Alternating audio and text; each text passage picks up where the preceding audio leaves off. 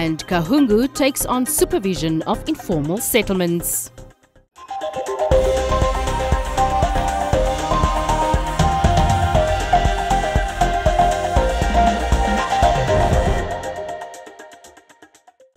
Health Minister Kalumbi Shangula, during an update session held at the COVID 19 Information Center, announced that three patients who tested positive of the coronavirus have successfully recovered. It seems as though Namibia is doing well in terms of battling COVID 19. Health Minister Kalumbi Shangula announced that 3 out of 16 patients who tested positive were successfully cleared of the coronavirus. A total of 333 samples were tested for COVID 19. Of these, 16, which represent 4.8% of the total tested, of the total, tested positive. 15 of those who tested positive were placed in our isolation and treatment facility, facilities, where they received medical and psychosocial support. One person was hospitalized and received intensive treatment. Three patients were, success were successfully treated and cleared of the coronavirus. For those who follow, that is case number three, case number five, and case number six. In the same breath, Shangula cleared rumors of Namibia receiving COVID 19 vaccines from the Chinese ambassador to Namibia. Recently, there was a clip circulating in the social media of a Minister of Health and Social Services ostensibly receiving COVID 19 vaccines from the Chinese ambassador. In fact, the photo was taken at the occasion when I received test kits and not vaccines from the ambassador. Most of the media houses witnessed that event.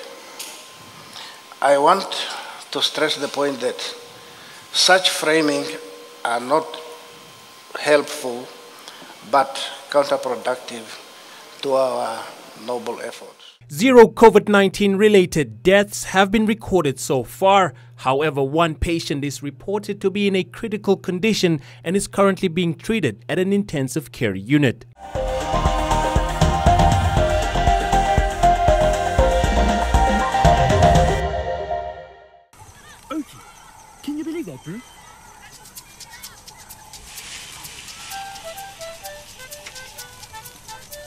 Make the most of Easter with these great savings at Spar.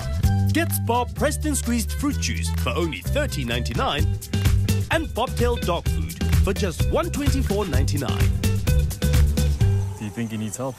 Nope. Spar, we're here for you this Easter.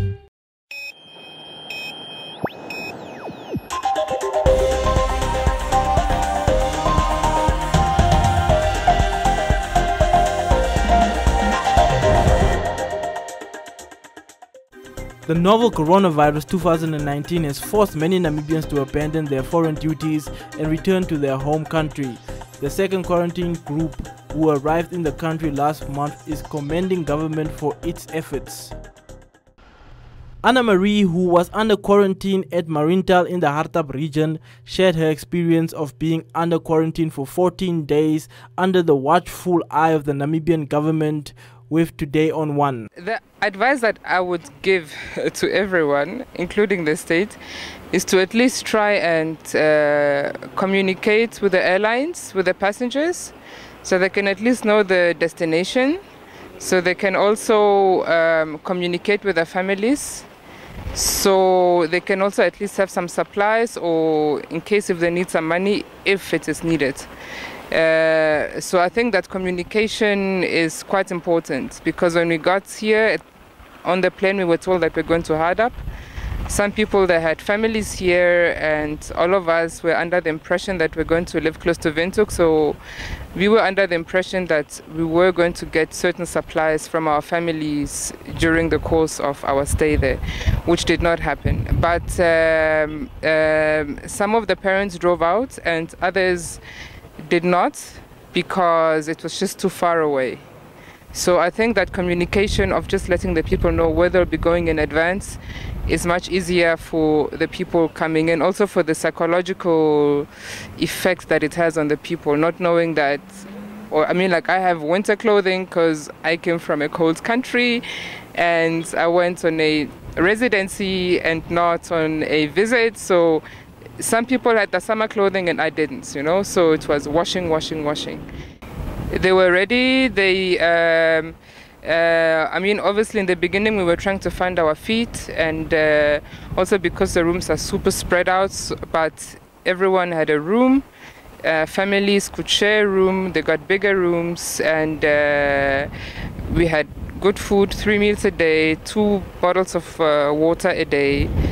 Uh, which might be too much as a, as an environmental activist when it comes to plastic usage, but um, um, the service was really good. I think the NWR guys they were they were on on on point. I must say. Marie added that she is happy that none of the people who were with her at the facility showed any COVID 19 symptoms. And mandatory quarantine, basically, what that meant was that um, we had to go into a quarantine facility, and it was more to I think the reason why they did it it is to stop the prevention, which I think was a good move. Uh, but also to actually contain it. But luckily, none of us tested or showed symptoms. Uh, we still have to self isolate ourselves for the next seven days. But uh, so far, we are all good. It's no one, nobody was sick. Uh, but like I said, the self quarantine or the quarantine was mostly just to contain the spread of the virus. I'm very excited. I'm very excited. I have uh, children, so I will be busy with them. And uh, uh, we will have a lot of catching up to do, uh, especially for some students and also for everyone that works with the internet because we did not have Wi Fi or um, Wi-Fi that was given to us, and also the network was very poor. So we mainly relied on this 3G MTC uh, voucher or super aware. She, however, advised the Namibian nation to follow the guidelines that have been set aside by the World Health Organization and the Ministry of Health and Social Services.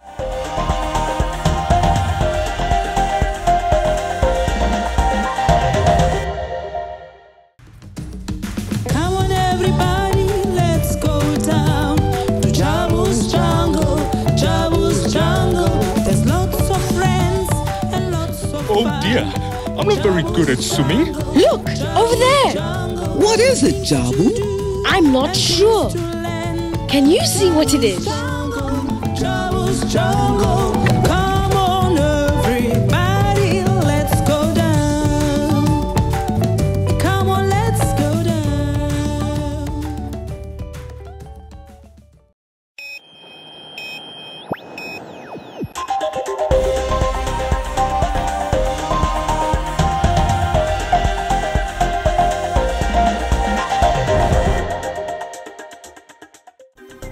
The outbreak of the COVID 19 pandemic, businesses and companies have shut down in compliance with directives by the head of state in order to curb the spread of the virus. Side by Side Center, a non-profit organization which supports children with special needs, is the latest center to be highly affected by the outbreak of the COVID-19 pandemic, as it is on the verge of facing a possible permanent shutdown due to frozen grants which are used for their daily operations. As a non-governmental organization, Side by Side Center is facing the reality of a possible permanent shutdown. This is due to grants for the center which have been frozen until further notice. These grants were essential for keeping the center running during this time and beyond. Side by Side is an organization that supports children with special needs, um, specifically in the informal settlements. So a lot of our children are from there. The biggest problem now, obviously, that we face is the fact that the children is already very isolated um, overall, and now with the COVID-19 and locking down, this means that the children is in the end even more isolated and even more um, not concentrated on. So in the end, side by side really supports with um, exercises, with training activities, parent workshops, um, reaching out to the children, making sure they have physically and emotional needs uh, is being met. Um, so all of this is being done through side by side. It's a heartbreaking situation uh, because we've spent seven years to, to create this blueprint that's actually working for disability in Namibia and that's working for early intervention. I was very excited um, about three months ago, we decided to launch the Neuro Clinic, um, which means that we can identify children shortly after birth and then immediately start with a support structure for these parents. This, in effect, will mean that we are back seven years and we have to start, when the COVID is over, we have to start all over again. It breaks my heart because 150 families at this stage is getting support from our network and from the services that we give. Um, so I think that is, at this stage, the biggest challenge is on a monthly basis, we have a building to cover, we have rent to cover. Um, my staff members have been part of this centre since it opened its doors seven years back. Um, so although um, they are doing a lot of this on their own time and giving a lot of themselves, obviously we have to pay salaries, they have families, they have to live. It's the, the children um, in the informal settlements that I'm really worried about. Is um, did we do enough for their parents to really understand? Is um, is the education we gave enough for them to carry on what we've started at side by side? Um, I think with disability and understanding, um, it's a growing process. Uh, what your child needs this year is not the same what he will need next year. As they start achieving um, their milestones, the needs differ. Director of the center, Huipi van Wyk, has introduced three programs during this pandemic, which includes one-on-one -on -one visits to the parents as they are not able to use the building facility at the center. She is also assisting parents by providing food packages to the parents registered with the center living in the informal settlements. We've been working over the last two weeks, I've been working on three different um, programs. Um, one of them is one-on-one visits. So I'll go to the house, uh, we'll take a little package, um, check up on the children, show some, some support, help the parents to understand what positioning is about, how can I play with my child, not use expensive things. So we take it to their homes and we teach them how to use a pair of socks as a ball. Also visiting the parents, we are taking some flyers that we got from from um, UNDP PRP um, that they gave us. So we will do some training on what COVID-19 is and how to protect my family, especially my child with a disability. We will also take handmade masks um, and we will teach the parents that when they're working with their children to please cover themselves when they're coughing, you know, all the important things.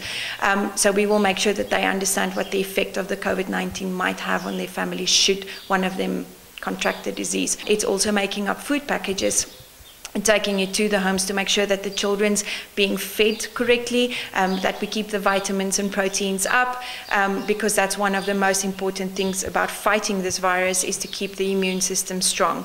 We're also working, my team and I are working on small videos um, that when I go and visit, I can Bluetooth it to their phones if they have smartphones. If they don't, then I'll show the video to them on my phone, and we can do some of the exercises at home so we can make it on small videos to make it easy for the family and the community to use on their own children during this lockdown period. Van Wyk is therefore asking for assistance as the center is in desperate need for support to continue its operations in order for them to keep on assisting the special children in the most vulnerable communities who tend to be neglected in society.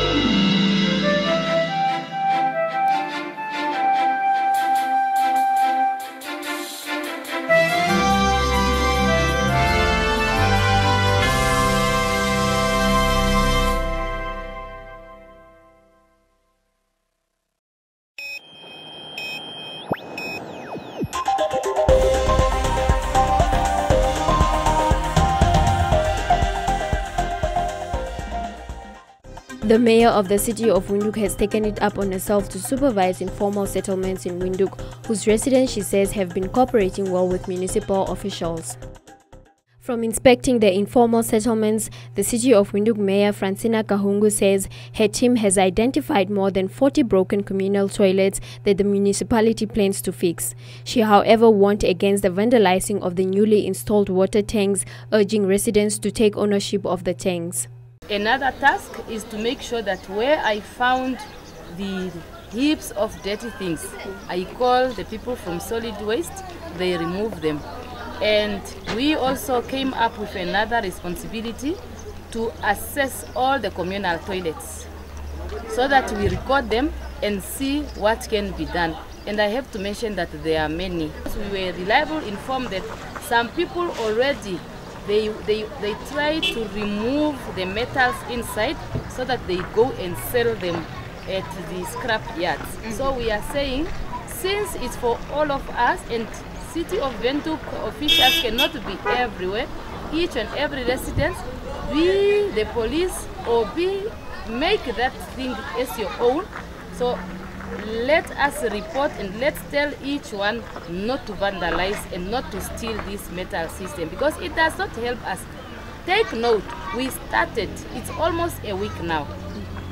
And now if people have to steal again metals, it will take maybe more than now two weeks because here you have to buy again and we do not have money just to buy things being stolen then buy again so in short let us look at look after this property they do not belong to municipality mm -hmm. it's not municipality tapping water mm -hmm. they belong to all of us and i truly believe that with the cooperation and the happiness we observe from the residents they will look after this property the mayor further extended her gratitude to the donations received towards the fight against COVID 19 and applauded those who have been adhering to the lockdown regulations.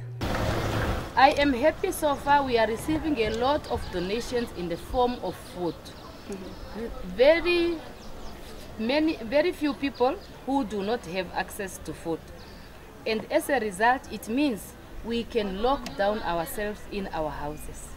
Mm -hmm. And I'm also happy to observe that from the end of the month until yesterday, there were many people kind of going out, but to be honest, from today, only few people are outside. The majority, they are abiding to the rules of lockdown. I'm happy for that. Let's continue with that spirit. The virus is real. Let us protect ourselves. Let's wash our hands. Let's stay inside our houses even as we want to finish this job which we are doing so that we also join the others in the lockdown process. As part of its additional precautionary measures against the COVID-19 pandemic, the Windhoek Municipal Council has closed all its municipal parks and recreational facilities, suspended gatherings of more than 50 people, and reconnected non-paid water accounts for the lockdown period.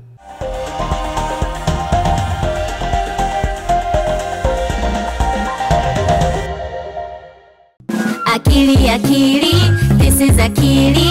She has a secret. Tell us, tell us. When the sun goes down, Akili goes to sleep, and she enters a world where all the animals speak. Akili, Akili, Akili, Akili, Akili, Akili, Akili, Akili. But there is something strange about this magic land. The animals speak English, which she doesn't understand. But if you help her out, we know it can be done. Akili can learn English and it will be fun. Akili!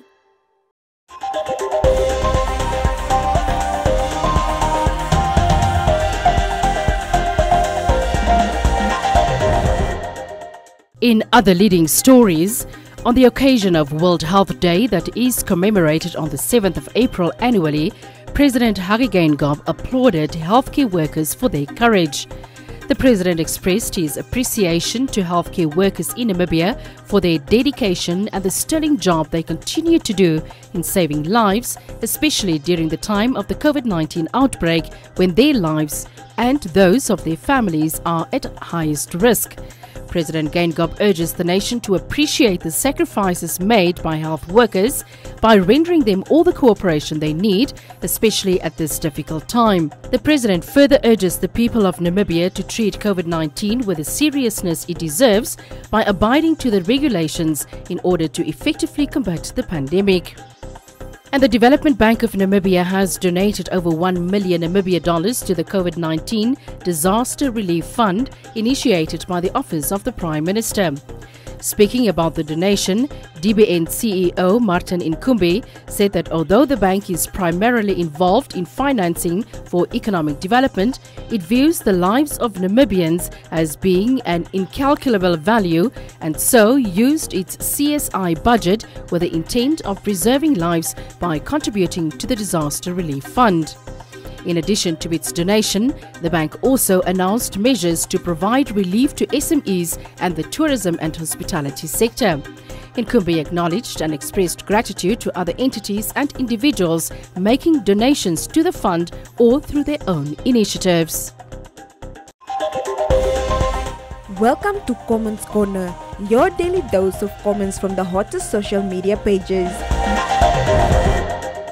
Top generals from the Namibian Police and Defense Force have ordered investigations and the possible dismissal of the members involved in misconduct and torturous behavior towards members of the public. Alex said the situation is bad and reminded the NDF that protecting civilians is part of their duty.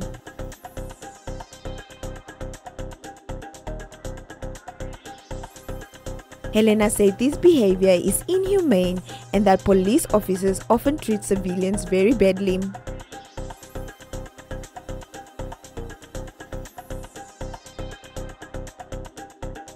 Fox said NDF and police officers should learn to do their work in an appropriate manner.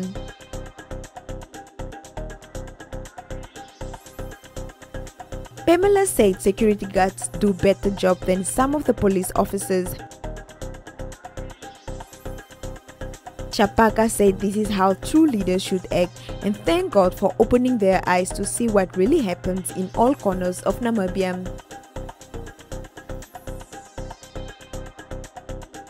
Petrus said civilians should not be treated as criminals.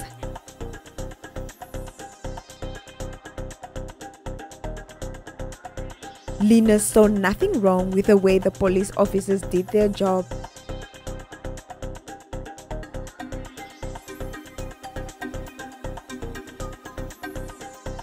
Boggy thanked Sebastian Ndeitunga for finally hearing their cry.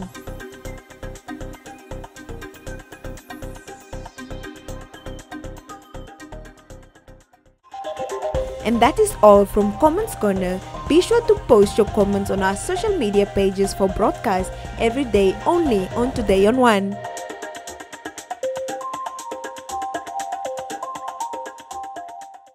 Today with Joseph Prince. Even though the law sounds tempting. You can produce instant results. Amen. It's a cover up. It's all a veneer. It's all outward. It's all behavior modification. But grace, when it transforms you, be patient when you put people under grace. Sometimes there's no immediate result. But when the results come, it's permanent. It's solid. It's real. It's abundant, both in quality and quantity. Amen.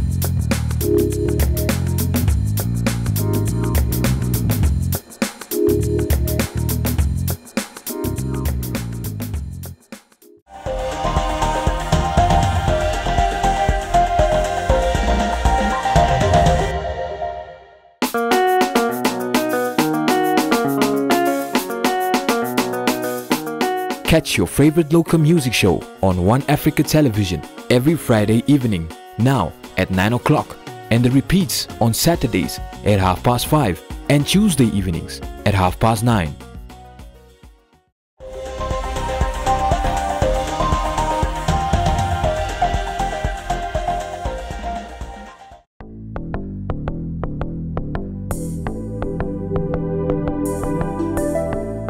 Look at the weather forecast. The Namibia interior partly cloudy and warm to hot with a few to isolated thunder showers in the northwest, central high ground and at places in the south, but scattered over the northeast and the east. Windy weather is expected in the interior. The coast partly cloudy and warm with fog patches, and the wind fresh to moderate northeasterly to southwesterly. Now we look at minimum and maximum temperatures across the country and beyond.